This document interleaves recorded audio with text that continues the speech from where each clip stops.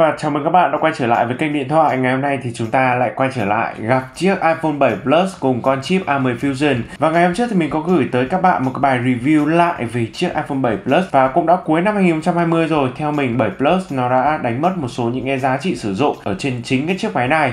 Và quên mất không gỡ lại được cho nó một cái điểm mà mình, theo mình, nó vẫn rất là quan trọng. Bởi vì nó là iPhone, nó là iOS, cho nên là nó vẫn có những thao tác sử dụng rất là mượt mà ở trong tầm giá. Mà khó có thể có một cái chiếc máy nào sau 4 năm rồi mà nó vẫn mượt mà như thế này, lại còn được hỗ trợ iOS 14 như mình đang sử dụng ở đây nữa. Thêm vào đó thì mình cũng phải nói là um, những cái ứng dụng đến từ App Store thì nó luôn có một cái kho ứng dụng được cập nhật nhanh hơn rất là nhiều so với cả Android.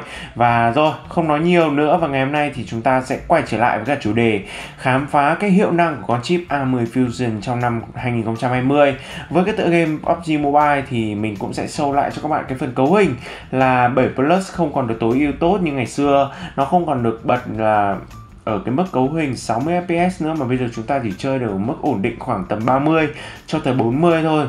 Đó.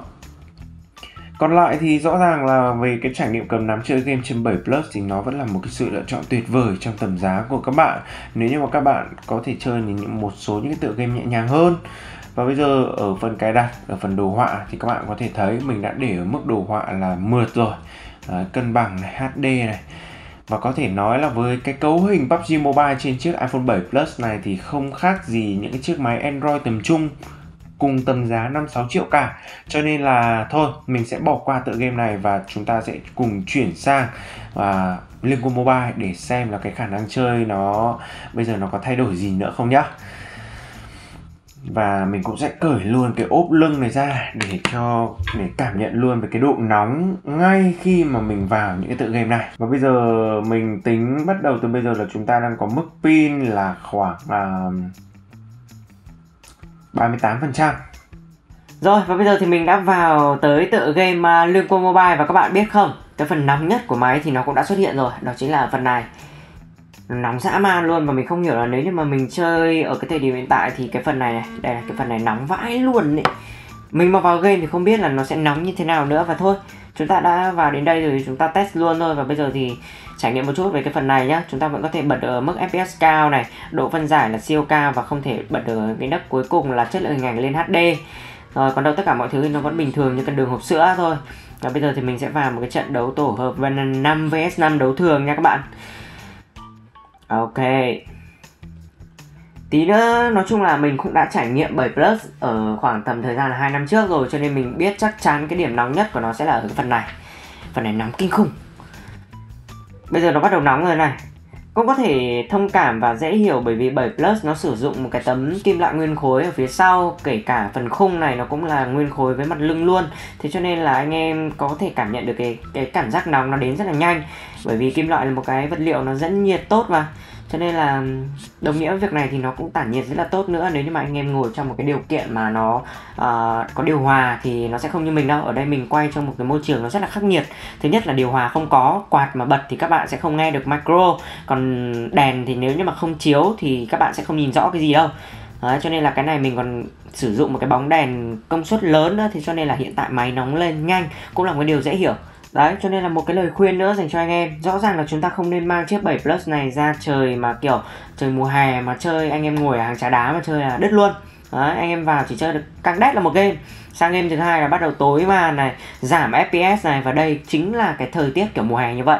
Không điều hòa có một cái mặt trời tí hon đang chiếu vào tay mình này. Các bạn có thấy đổ bóng ở đây không? Đó nhận xét một chút về cái fps ở đây thì không ổn chút nào đâu. Từ nãy giờ vào nó xuống tận 58 rồi bây giờ chỉ đang ổn ở mức 60 hy vọng là nó sẽ ổn.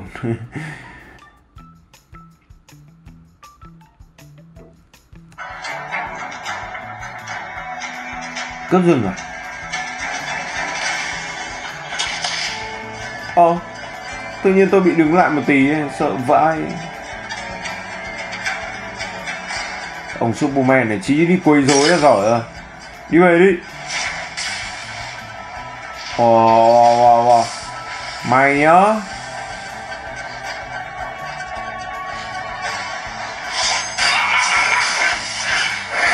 Là 7 plus nó vẫn là chất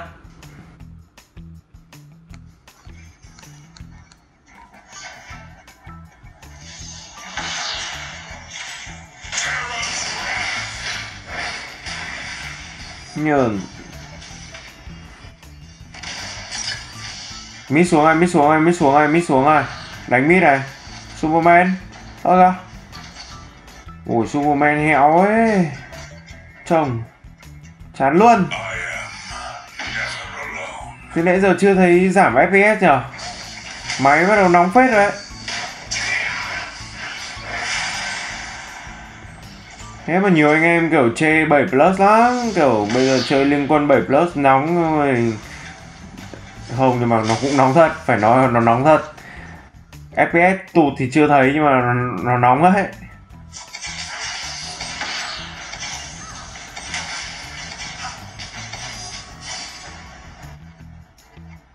Rồi và từ nãy giờ kiểu uh, cho anh em đi nghỉ ngơi một chút thì là mình đã có ba mạng rồi. Ăn được một con rồng luôn và bây giờ mình level 7 chơi được có tầm độ khoảng tầm 6 phút rưỡi. Tính cả vào game thì nó rơi vào độ khoảng tầm cũng gần 10 phút rồi đấy. Nhưng mà bây giờ mà mình mình phải nói thật với các bạn luôn là máy nóng lên trông thấy và làm cho kiểu đôi tay của mình cảm giác nó rất là khó chịu như kiểu đang chơi ở giữa cái mùa hè vậy. Cảm giác cực kỳ bực mình khó chịu luôn. Không phải xạ thì chắc là do máy nó cũng kiểu chỉ đến được gần này thôi, làm sao mà khác được, làm sao mà mạnh mẽ mãi được, đúng không nào? Cho nên là với các bạn mà hiện tại đang có ý định là à hiện tại iPhone 7 Plus vẫn còn chơi game ngon lắm thì mình chúng ta phải xét trên một cái uh, đánh giá tổng thể. Có nghĩa là ok hiệu năng thì mình thấy là nó chơi liên quân vẫn rất là ngon nghẻ đấy không có vấn đề gì đâu. Nhưng mà các bạn cứ thử cầm một cái chiếc máy này như kiểu là cầm một cái cục than đấy. Trong độ khoảng tầm 10 phút 15 phút 20 phút xem. Cầm liên tục xem. Đấy, chưa kể là thỉnh thoảng chắc chắn là sẽ có khựng và càng nóng thì nó sẽ khựng càng nhiều và càng nóng thì nó sẽ bị delay càng nhiều. Thì chắc chắn là đến lúc đấy anh em mới cảm nhận được là à hóa ra là nóng máy nó sẽ ảnh hưởng đến FPS và nó sẽ làm cho chiếc máy của chúng ta nó bị đỡ đỡ đỡ đi rất là nhiều. Đấy anh em phải lưu ý giúp mình cái việc đấy nhá. Ui mình ô ý không chạy được rồi và nãy giờ thì từ nãy giờ FPS thì có những cái lúc ấy có những cái thỉnh thoảng những cái lúc không hiểu sao xuống 50 FPS nhưng mà nó chỉ giật một phát thôi. Còn đâu nó rất ổn định ở mức 5960 Đấy, rõ ràng là với A10 Fusion thì nó cũng không phải là một cái gì là trải nghiệm nó quá tồi tệ trong tầm giá này đâu. Nó vẫn là rất là ngon. Nhưng Đấy nhá, bây giờ sâu cho các bạn xem luôn cái phần trăm pin thì từ nãy giờ là mất 11% cho 6 phút chơi. Ở đây 8 phút chơi 8 phút in game còn chưa tính vào game. Đấy, 11% thì các bạn cứ thử tính xem khoảng nếu như mà một ván game được khoảng tầm 20 phút thì các bạn sẽ đánh đổi lấy được khoảng tầm à, 40% khoảng khoảng đấy nhá. Đấy 30 đến 40 phần trăm cho một ván liên quân thì liệu các bạn có thấy hợp lý không? Rõ ràng là pin vẫn là một cái gì đấy mà iPhone làm hoàn toàn rất là tệ. Mình cảm thấy thế mình cảm thấy nó tệ lắm phần trăm pin nó không đủ để cho chúng ta có thể chơi thoải mái, thỏa thích như là như trên những cái chiếc máy Android. Tao phải gì mà chết thì thôi. Ôi quả đấy cái ụp lồng lỗi nhở chảy sao lại đi ụp cái thằng AD sắp chết luôn ấy. Đáng lẽ phải ụp con Alice. Rồi. Và đây là mình sẽ chỉ test cho các bạn một ván thôi. Và thứ nhất nhá, nó rất là nóng. Nó cực kỳ nóng iPhone 7 Plus của chúng ta rất là nóng các bạn ạ.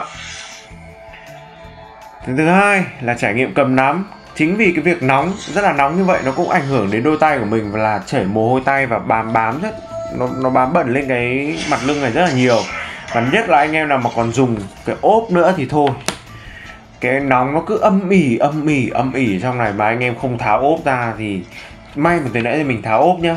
Mình mà không tháo ốp thì thôi, drop fps từ nãy giờ phải chắc là phải dã man kinh khủng lắm. Rồi, bây giờ chơi nốt. Nói chung là cái trải nghiệm này anh em có thể mua về để sử dụng, tổng hợp những cái nhu cầu sử dụng rất là thường, rất là hàng ngày. Và trong đó có nhu cầu chơi game. Còn đâu mình nói trước là anh em chơi game thì phải cân nhắc là nó sẽ không phải là sự lựa chọn ưu tiên để cho anh em đâu. Có bát, anh em thấy từ nãy giờ con bát có bị làm sao không? Chả bị làm sao. Ôi năm tư này, năm tư này, năm tư này đấy năm tư ấy, nhìn thấy con số năm tư nhá. Có drop. Rõ ràng là trong những cái pha combat tổng như thế là FPS nó bị bị giảm đi khá là đáng kể đấy. Nhưng mà nói chung, nhìn chung về cả ván đấu của chúng ta, thì cái FPS nó vẫn rất là ổn định và nó sẽ chỉnh thỉnh thoảng nó bị khựng khựng thôi. Cho nên anh em hoàn toàn có thể ủa ủa ủa ủa ủa. À, AD nó đánh quá hay luôn các bạn ơi dã man dã man dã man. Và kết luận lại cho iPhone 7 Plus ở trong tầm giá 6 triệu. Thì các bạn nếu như mà các bạn yêu thích một sản phẩm iPhone màn hình lớn viên pin trâu trong tầm giá trâu trong ngoặc kép luôn thì đây là một cái sự lựa chọn có lẽ là tốt nhất rồi. Còn nếu như mà các bạn muốn có một cái sự lựa chọn nó hợp lý hơn thì hãy thêm độ khoảng tầm 3 cho tới độ khoảng tầm 3 triệu thì các bạn có thể mua được iPhone à, uh, XR Lock hoặc là iPhone 8 Plus để có một cái trải nghiệm nó hoàn hảo hơn nhé. Còn bây giờ thì 7 Plus nó đã bắt đầu đuối sức, nó bắt đầu bắt đầu già gân rồi đấy. Còn bây giờ thì uh, xin chào hẹn gặp lại các bạn trong những video sau. Bye bye.